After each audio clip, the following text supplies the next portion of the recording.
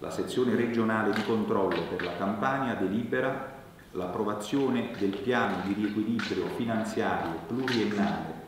del Comune di Nocera Inferiore, valutandone la congruenza ai fini del riequilibrio, ai sensi dell'articolo 243 quater, comma 3 del decreto legislativo 267 del 2000, con l'osservanza delle, prescrizioni esposte in motivazione. Il Presidente Ciro Valentino. Abbiamo dovuto gestire una situazione ai limiti della sopravvivenza. Abbiamo alle nostre spalle il grosso del lavoro, abbiamo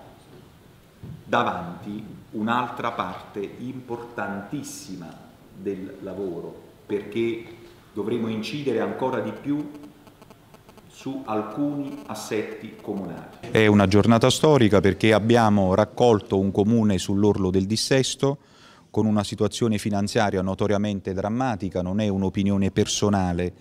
eh, ma quanto attestava la stessa Corte dei Conti e lo stesso Ministero delle Finanze quando abbiamo avviato la manovra di riequilibrio nel 2013, manovra che ci è stata consentita grazie anche a quello che è stato il decreto 35, il decreto Monti, che quindi consentì agli enti locali che volessero rendersi virtuosi con loro lavoro ovviamente, di attingere a risorse finanziarie, un processo che abbiamo avviato in totale solitudine, spesso ricevendo delle critiche ingiuste perché la città doveva vivere e farla vivere era sempre più difficile stante la carenza di risorse finanziarie.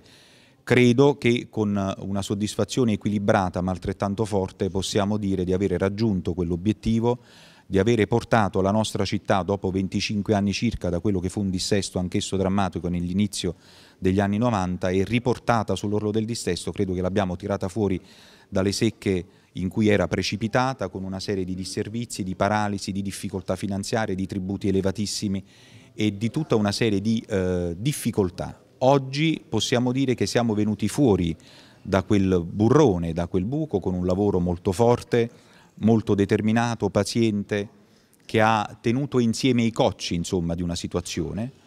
e ehm, ovviamente sapendo che quel lavoro non è finito perché eh, non, la, non si amministra per piantare la bandiera del proprio orgoglio, si amministra per rendere un servizio alle comunità. Ecco, lei ha detto che bisogna incidere adesso su altri assetti comunali. Bisogna incidere adesso su altri assetti comunali, abbiamo un'idea di quelle che saranno le prescrizioni di accompagnamento che la Corte dei Conti ci darà, che dà a tutti gli enti che vedono approvata la propria manovra finanziaria, però ci riempie di soddisfazione la definizione di quel provvedimento che definisce la congruenza, quindi pienamente accoglibile, pienamente accoglibile la manovra di riequilibrio finanziario pluriennale antidissesto, la voglio battezzare oggi, non più predissesto, che il nostro comune ha realizzato, la nostra amministrazione ha portato a casa dell'interesse di tutti i cittadini. Questo non è un tecnicismo, io vorrei sottolinearlo perché può apparire giustamente al cittadino comune tale, eh, la vita di una famiglia si basa sulle risorse, non solo su due elementi, sull'amore familiare e quello credo che ce lo abbiamo messo, e sulle risorse finanziarie. Le risorse finanziarie non le avevamo, abbiamo utilizzato un meccanismo di governo, abbiamo utilizzato molta virtù, abbiamo risparmiato praticamente su tutto,